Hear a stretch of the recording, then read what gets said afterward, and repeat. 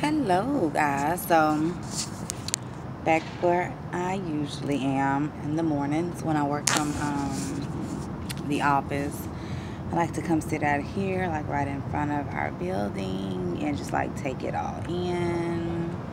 I have just my view, just the trees and the bushes, but I just like to kind of be out here and sit and think um, before I actually start working. So anytime that I'm running late, I just be like panicking because I'm like, oh, I don't have time to sit outside and think and take in the sun and drink my coffee. So that's the deal with that.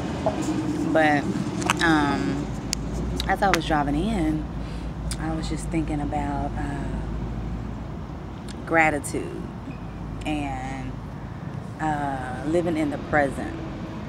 And I think a lot of us miss out on a lot of things because we're, um, I just gotta make sure nobody creeping up on me.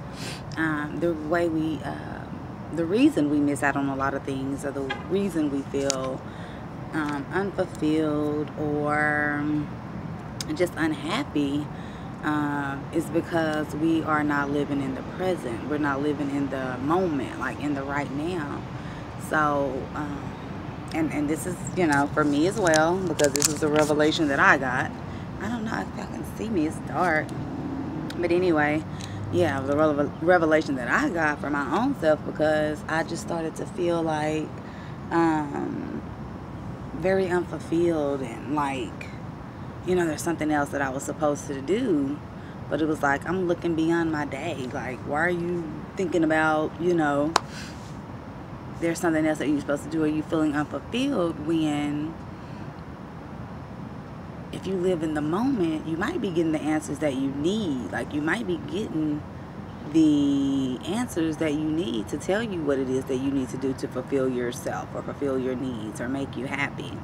Um, because most of the time, it's hidden in plain sight or it's, it's, it's something, you know, showing us every day like, you know, this is what you asked for and it's kind of dangling, but we're focused on the future or we're focused on the past, you know, so we can't see what's right in front of us, you know, and we're kind of, you know, we'll keep ourselves stuck there because we're steady thinking, you know, oh my God, for instance, I'm supposed to be so much further in my life than I am right now, and you know, I could be uh, this, I could be doing that.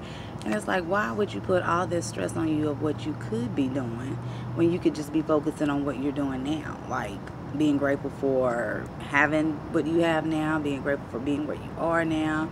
Because, you know, a lot of things, you know, you rush into and you don't let it play its time out, then it, it, it may fail. It may not be, you know. And I really feel that God would allow us to get what it is that we think we want.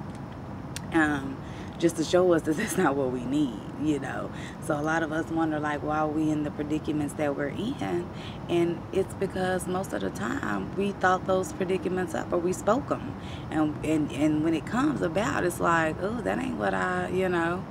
So when God give you what it is that you want and it don't work out, then you know that's pretty much on you because what you've done was worried yourself and thought yourself so much about that you know situation or that whatever that he's like let me go ahead and give her this so she can see that this is not what she need you know. I'm gonna give it to her even though it's gonna probably hurt her. It's probably gonna break her down. She probably gonna have to start all the way over.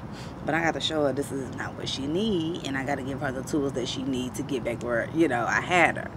So you know trust me, I've been there. I know, you know, he will break you down to build you back up. And a lot of the times, it's something that you wanted. You wanted it so bad, so he had to give it to you. And just know the power of the mind is not a joke.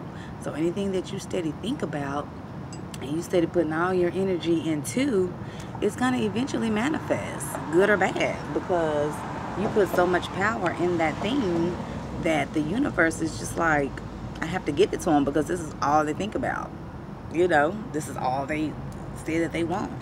So we're going to grant it. Good or bad, right or wrong. You'll learn your lesson in the end. So my thing for today is just, you know, focus on the present. Stay in the present. Stay positive. Um, and just live in the now. Like enjoy what you have now. Enjoy what you're doing now. Um, and just prepare. I mean, you know, you can always, you know, write your goals in your list, but don't stress over them. Write them. Let that be it. Live for today. Okay? That's my message, and it's a note to myself as well. Um, so I will talk to you all later.